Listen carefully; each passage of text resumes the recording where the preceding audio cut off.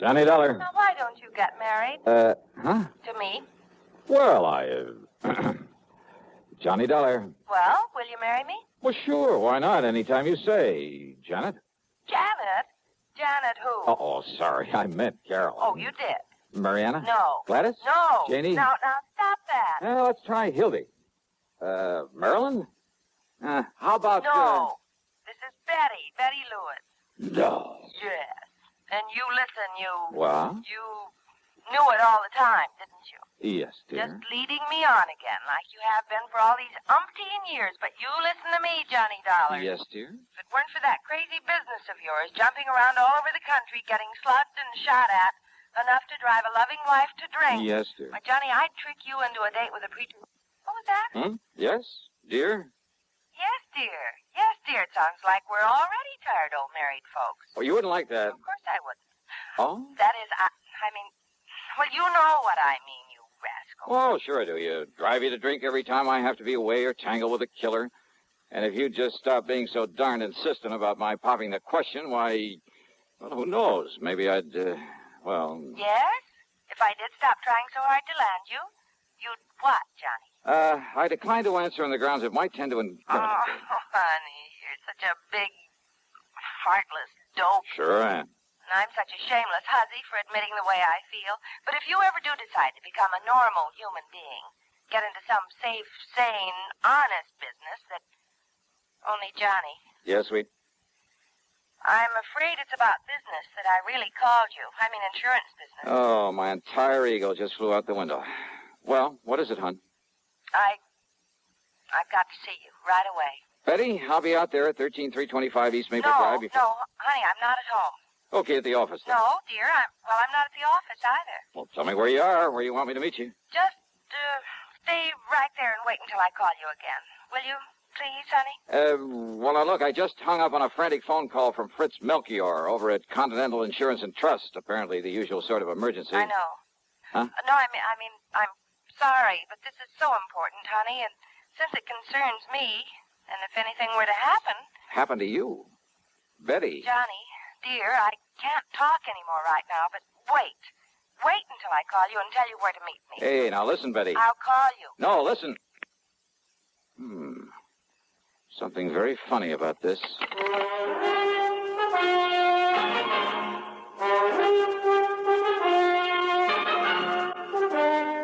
CBS Radio brings you Bob Bailey in the exciting adventures of the man with the action packed expense account, America's fabulous freelance insurance investigator. Yours truly, Johnny Dollar.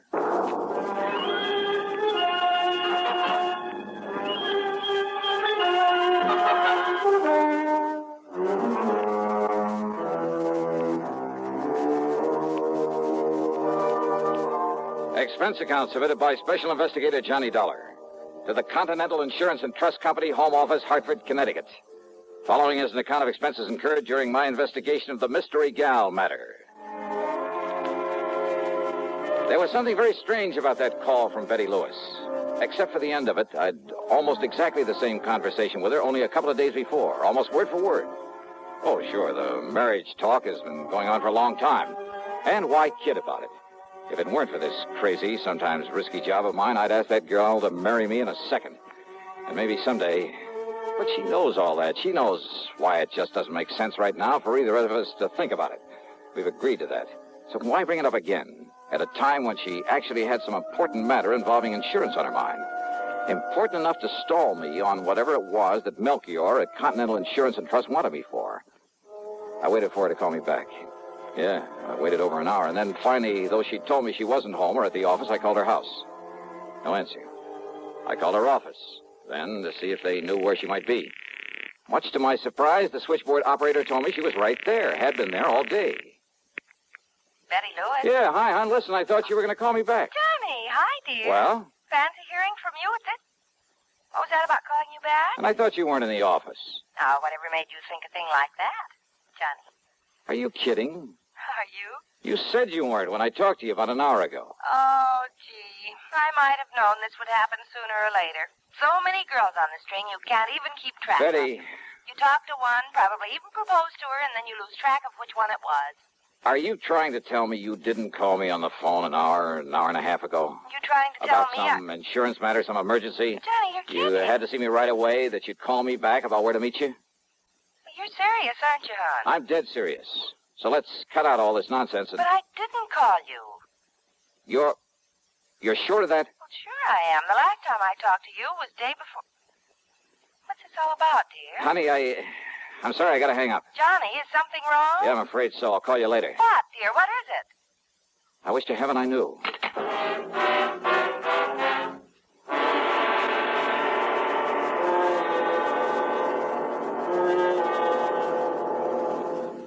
Pepsi Cola refreshes without filling. Why? Because it's truly light. Charlie, you're forgetting something. Wait, Kay, there's more. Yes, ice cold Pepsi is the delicious refreshment that goes great at a picnic or a party. But, Charlie, And Pepsi goes fast. People like it, so keep plenty handy.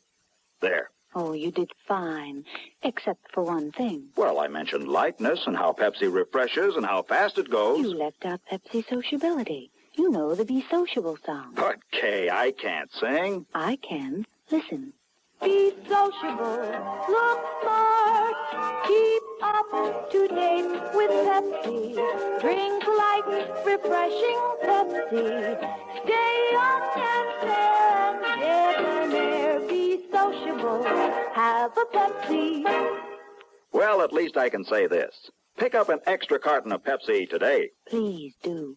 And now, Act Two of yours truly, Johnny Dollar and the Mystery Gal Matter. Expense account item one, a dollar fifteen for a taxi to Fred Melchior's office at Continental Insurance and Trust. I didn't bother phoning ahead to tell him why I was so late in responding to his call for help. I found him literally pacing the floor. Oh, Johnny, thank goodness. Yeah, hiya, Fritz. Only I didn't expect you in here so soon. Sit down. Is uh, everything all right? So soon, did you say? What? And here I was, all set to apologize for not having got here when I was supposed to, nearly two hours ago. Well, as long as you called me back and asked if you might I go right on over. I called you back? Why, yes, of course. And I agreed with you it was best not to waste time coming here for the facts on Uh, the no, case. no, wait a minute, Fritz. Uh, So I told you all about it. Though I still think it shouldn't have been gone into on the uh, telephone. tell me about what? But since time was so important, and since you're going out there right away might... Uh... Johnny, what did you say? I didn't, but I will. Now listen to me, Fritz. There's something very screwy going on around here. Oh? What do you mean? You called me on the phone about an hour and a half, maybe two hours ago. Yes, You that's asked right. me if I'd come on over here and see you. Yes. Now, you said you were still in bed, but that as soon as you could get shaved and dressed and a cup of coffee, you'd come on over here. Okay, so far so good. And then? Well, naturally, I I waited for you. Yeah? But then after half or three quarters of an hour when you didn't show up, oh, and believe me, this matter is so urgent, so pressing, so, so What important. matter? Uh, no, no, wait. Let's not go into that just yet. So, so what happened when I didn't appear? I decided I'd better call you again, but I didn't have a chance. Why not? Why not? Well, you know why not. Because you called me back. I did, huh? Well, yes. And as I reminded you a moment ago, you suggested that instead of wasting time coming here to the office... Only Fritz. Uh, yes? I didn't call you back. Now, why do you say a thing like that? Of course you... Didn't? No. But Johnny... But it's pretty obvious somebody did. Oh, but I'm Yeah, sure. Somebody who tried to make you think it was me, who must have succeeded pretty well. But that's imp... Johnny. Johnny, I hope you're not joking. I am not. Because I'm certain, absolutely certain. I mean, well, how could I mistake your voice after all these years? It looks like you did, though, doesn't it? Well, then, who was it that called me and told me it was you and uh, asked me for all the details on this case that I want you to handle for us? Brother, I wish I knew. And then when I told him, told him where to go and whom to see, he agreed to get on it right away. Ah. And I, thinking it was you, oh, no, no, oh, good heavens. Now what? Well, this all means that you haven't been out there to see him. Our client, I mean, out on East Maple Drive. Oh, Fritz? Oh, good heavens, Johnny. Oh, if we're too late. Well, come on. We've got to get out there and see him. Yes, right away. Yeah, sure, anything you say. But first, would you mind telling me who this client is and what's bothering him? No, no, no time, Johnny. No time. No. You just come along, and I'll tell you all about it on the way.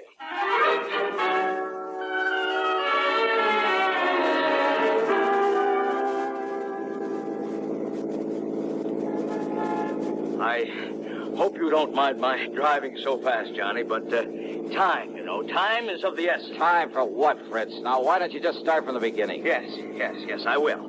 Now, when I called and I talked to you the first time. The only time, Fritz. Oh, all right, yes, yes, yes. It must have been somebody else who knew I'd called you before, who found out from me that. Well, now listen. I'm listening. I'm Now, listening. anyhow, when I talked to you, I told you I'd had a call from one of our clients. Yeah, only you didn't say who. Now, the call was from Mr. John Marshall Sawyer out there on East Maple Drive. Sawyer, the attorney? Yes, yes, retired. Lives right across the street from, well, from a very good friend of mine. I don't know about that. I don't care. The point is that Mr. Sawyer, before he retired and came up here to live. Yeah, sure. The DA's office down in New York. That's right. Probably sent more hoodlums up the river than anybody else in the big town's history. Exactly. Including Andy Rinaldi. Andy the actor. That's right. Confidence man and suspected killer. Yeah, I had a hand in that case myself. I know.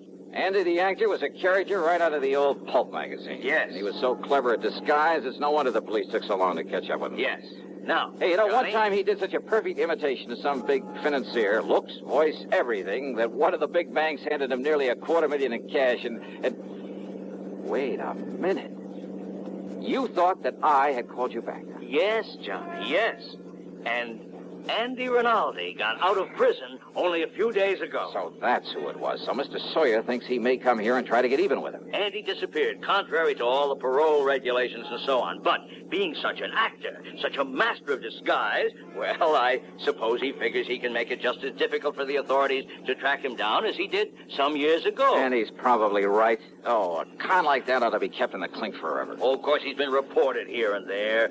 Half a dozen innocent people have been picked up all over. Why, as far west as Los Angeles. Ah, he's too smart to travel far. The longer the trail, usually, the easier it is to pick up. The point is, Mr. Sawyer was awakened last night by somebody prowling around outside his home, apparently just uh, uh, casing it. Well, it could have been a common burglar. He thinks it must have been Andy the actor. Did he notify the police? No, he wants you on the job. You know Andy, and you're on to some of his tricks. Well, maybe some of them. What's more, Andy may have reason to feel the same way about you as he does about Mr. Sawyer. That phone call to you, pretending to be me, somehow he must have found out you'd call me. But how, Johnny? But that girl who called me. Girl Who? A perfect imitation of Betty Lewis. I'm afraid I don't understand. Hey. Fritz, you better step on it. You say a girl called Yeah, you? to stall me off. It had to be. To maybe keep me away just long enough for him to get out here. Come on, faster, Fritz. Anything you say, but listen, Johnny. The point is if Andy comes around The again point tonight, is that he may have decided not to wait until tonight. What? Come on, let me take the wheel, Fritz. We gotta make time.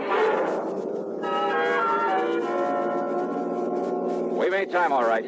But all along the way, I kept reminding myself that if those phony calls had been meant to delay me, they couldn't have hoped to keep me away for long. In other words, Andy the actor was ready to take care of Mr. Sawyer right now. I hoped and prayed we wouldn't be too late. Sawyer was an old man, hardly a match for a killer. All right, now, now, here we are. And now look, Johnny, the front door of his house is wide open. Now, that isn't right. Come on, Fritz, don't waste time talking about it. Oh, no. We're too late. Fritz, flat against the wall. Stay flat against the wall. No. Look, What? The body. Fallen there in the doorway. Yeah. Yeah.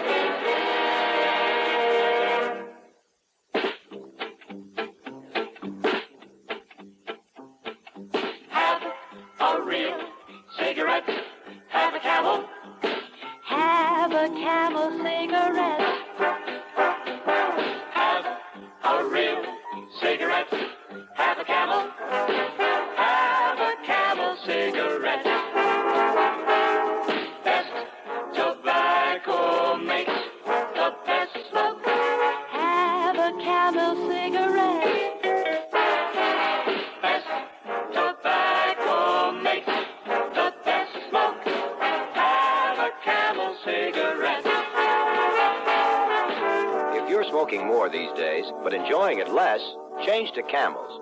The Camel blend of costly tobaccos has never been equaled for real smoking satisfaction. Have a real cigarette. Have a camel.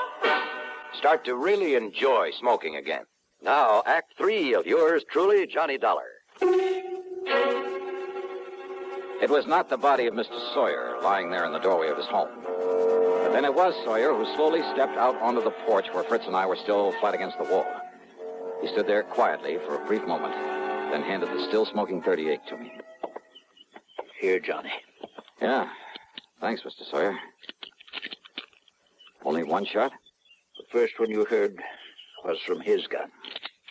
I'm sorry about this, about killing a man, but I'm afraid he gave me no choice. It's Andy the actor, all right, Johnny. Yeah. Look, here, these false sideburns, the mustache. Is he still alive, Fritz? Yes, yes, he's still alive. Thank you. Then you better call an ambulance and the police. Yes, yes, sure. Well, Mr. Sawyer? Hey, and you know something? You may have saved my life, too.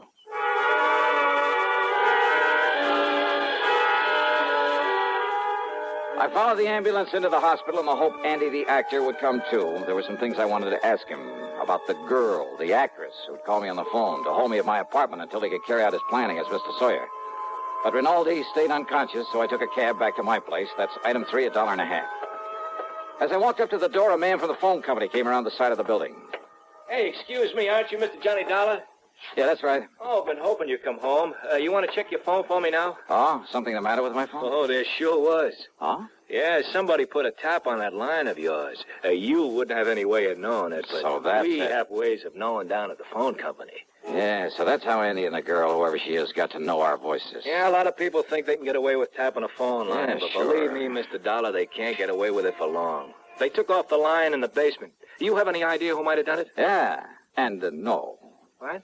Well, Andy the actor, for one. Uh, what's But that? who the girl is? Hmm. Hey, Mr. Dollar, what are you talking about? Oh, uh, nothing, nothing you need to worry about. Oh, sure, whatever you say. But now, if you'll go inside and dial somebody and see if you get them okay, you see, I got a handset still hooked up to it. Yeah, I'll do that. Oh, and uh, the cops have already been notified, so if they come around asking questions. Okay, thanks.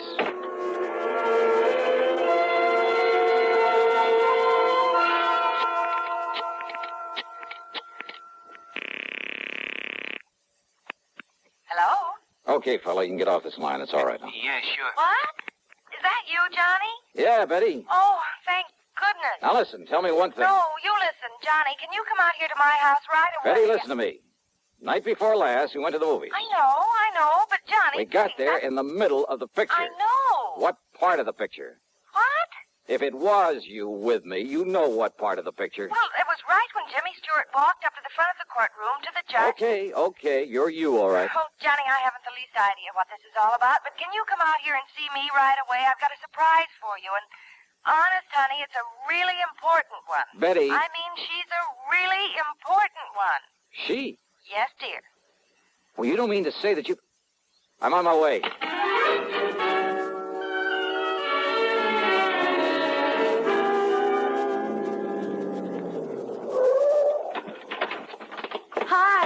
Come on. Come on into the house. Now listen, Betty, if this is some kind of a Oh, gag. honest engine, honey. Cross my heart. But listen, Yeah? I came home from the office early. Uh huh. I had to walk the last couple of blocks because I ran out of gas. Yeah, yeah. All of a sudden, you and somebody else came charging up in a car to that house across the street. You were here where then? that nice old Mr. Sawyer. You were right here? Yes, but I suddenly got too busy to call at you or anything. You see, I was just letting myself in through the back door. Okay, now, this surprise you, You talked see, about. I'd forgotten my key to the front door, so I had to sneak in the back one. I always leave that key under the mat. Honey, will you get to the point? But the key wasn't there. And the back door was already open. Oh, go on. I started in quietly, and then I heard a couple of shots over there at Mr. Sawyer's house. Yeah? And Johnny, Yeah. there in my living room, standing behind the drapes of the front window and with a gun in her hand, was this girl. The girl. standing there watching across the street so intently that she didn't hear me come in. She started aiming the gun over at you and that man who was with you and Mr. Sawyer who'd come to the door. Yeah, well, listen, look, so let's I go sneaked inside up and- behind her and... Well, I'm afraid I kind of ruined one of my nicest vases on her head. And you've got her? You've got her inside? All tied up with all the clothesline I could oh, find. Oh, honey, I love you dearly. Where is she? Here. Right here in the living room. Oh, great. What a girl. You... Holy, you must have really clouded her. Well, I did. But when she came to and started talking, Well, honey, this burglar, or whatever she is, well, she started talking her head off, trying to tell me I didn't understand. Well, how could she with that gag? And you know something? She sounded so much like me, and I got so tired of listening to that voice. Well, that's the reason I put that gag in her mouth. Well, are you proud of me? Don't you agree? She must have had something to do with it. Oh, Johnny. You know something? I love you, gal. Oh, no, that's what I like to. Mm. Oh, honey. Why don't you and I just. And you preach to me about getting mixed up with people like this? Any sense I'd turn you over my knee and I... Yeah, rascal. Uh-huh. This is much more fun, isn't it? Mwah.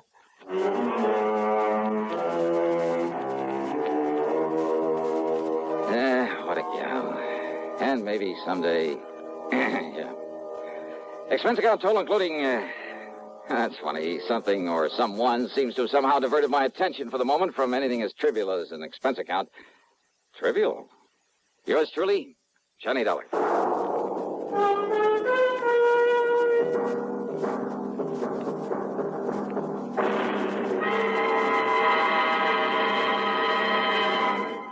Hi. Maybe you'll recall this tuneful reminder of times past. This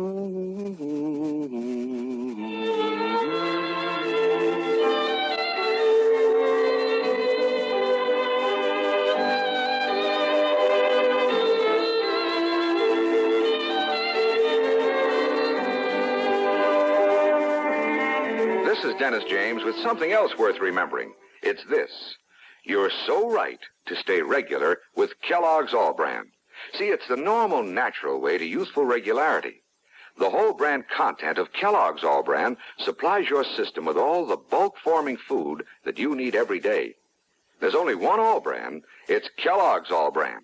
So relieve irregularity from lack of bulk as millions do with a bowl full of Kellogg's All-Bran each morning. A double L hyphen B R A N. It's Kellogg's All-Bran. Now here's our star to tell you about next week's program. Next week, I'll tell you about the biggest deception that was ever pulled. By me. So join us, won't you? Yours truly, Johnny Dollar.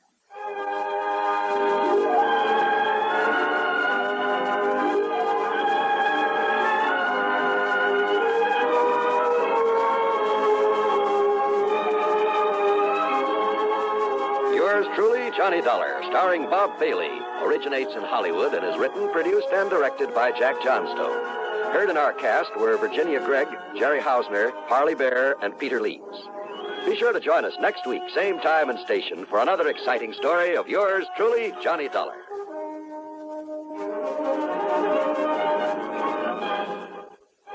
This is John Wall speaking. Suspense is next on the CBS Radio Network. You know, Dooley, I've been reading up on hypnosis. Come here and let me try it on you. I'm an officer of the law and don't approve of making a man divulge his secrets. However, I'll stand by in case there's criminology involved. I just want to clear up some of his problems, Officer. But I haven't got any problems. I'm the soul of contentment. Maybe that's your trouble. You're too contented. Lie down, Dooley. You're going to sleep. I feel so good. He's under my influence. Now, little tyke, get up. Go straight to the beer of your choice. Astounding. He's heading for Utica Club. Cause Utica Club will still take the trouble to age beer the natural way. Utica Club, you see. He's got no problem. He's a happy, well-adjusted beer mug. Brewed by the West End Brewing Company of Utica, New York. Radio 59, WROW Albany, New York.